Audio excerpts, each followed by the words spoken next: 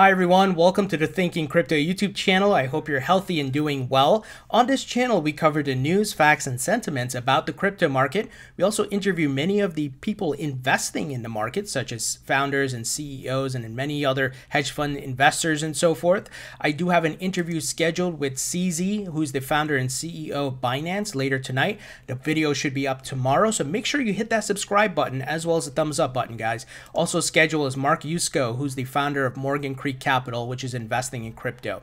And uh, first news, guys Bobby Lee calls for Bitcoin to reach an all time high in 2020.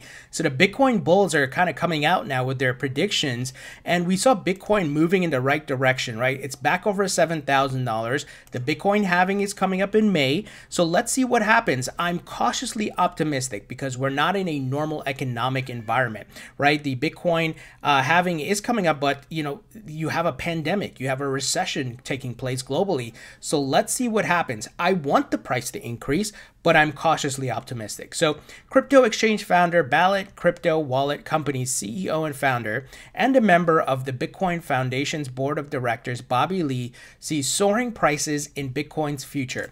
Lee expects uh, said he expects Bitcoin to hit $10,000 by its block reward halving in May. Uh, in a statement provided to Cointelegraph, uh, he also forecasted a $25,000 price tag by the end of the year, so December 2020. Let's see if that happens. I want it to happen, of course.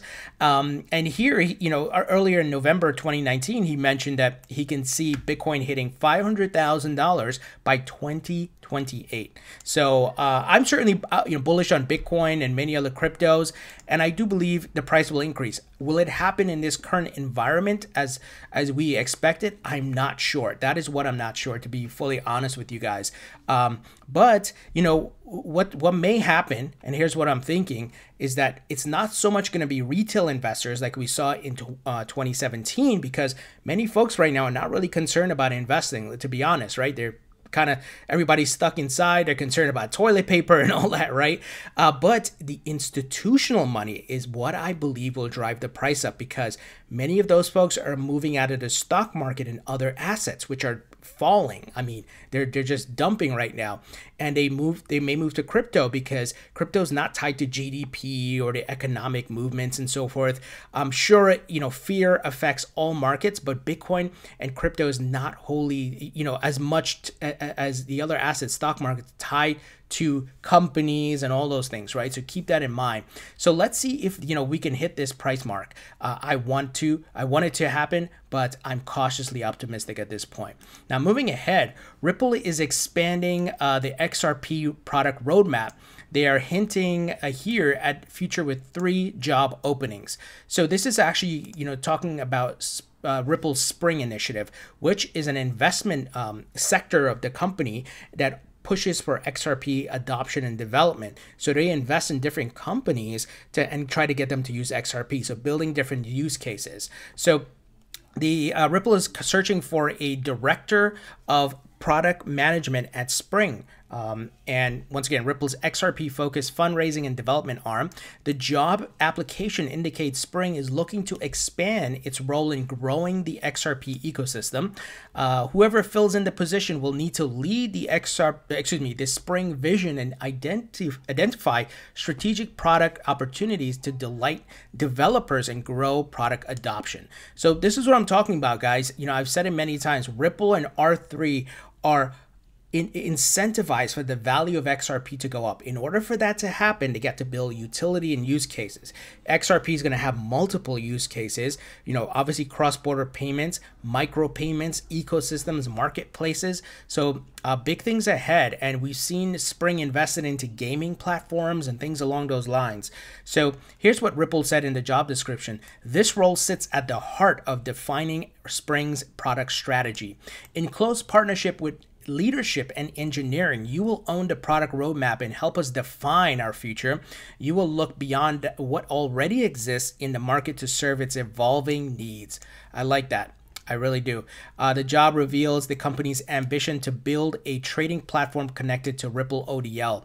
So that's obviously for the cross-border payments setup. So uh, that is what they're trying to build, and and I've been on record saying CBDCs are going to benefit from this, as the World Economic Forum um, report had highlighted. XRP is a wholesale solution for CBDCs.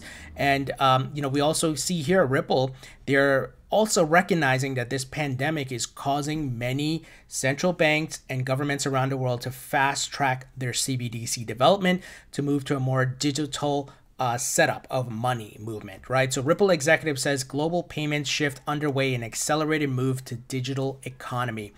Um, here, he it's Navin Gupta, by the way, um, who's he's you know managing director for the Southeast Asia, the Middle East, and North Africa, and he's really saying you know this is causing a big shift in getting a digital fiat, and we see the world powers uh, are already on track, right? China, um, uh, you got the U.S. with a digital dollar, and many others. So uh, I don't want to read through everything, but the, the, the, summary here is that I think everybody's recognizing, okay, we got to move away from paper money.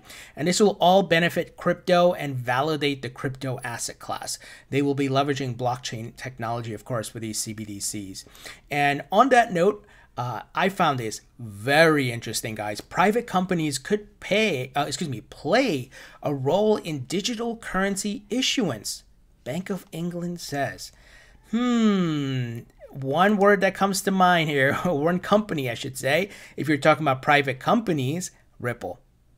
And once again, I'm bullish on Bitcoin. As I've stated here, I hold Bitcoin in my portfolio, I hold Ethereum XRP, but I'm looking at the facts and who is positioned, who is building, who's working with the central banks and the IMF, Ripple.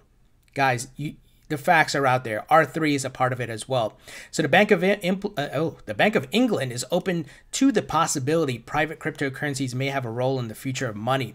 In a webinar hosted Tuesday, Bank of England analysts working on the UK central bank digital currency CBDC initiative said there was a distinct possibility that private companies could play a much larger part in the issuance of and distribution of money.